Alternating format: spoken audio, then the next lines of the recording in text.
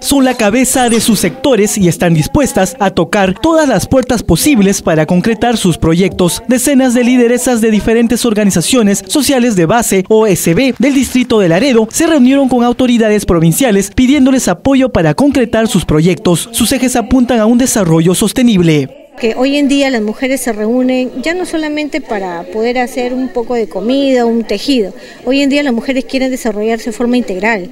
Tal es el caso que a través de Codi Mujer y la Municipalidad de Aredo venimos realizando este tipo de proyectos. Este proyecto ya viene desde el 2011 que se viene desarrollando para fortalecer a la mujer laredina de forma integral. Asimismo explicó que han realizado un estudio para determinar las problemáticas del distrito, principalmente tienen que atender al sector salud que muy abandonado está en sus respectivos zonas. Ellas piden la presencia y atención en las postas todos los días, además el fortalecimiento de la seguridad.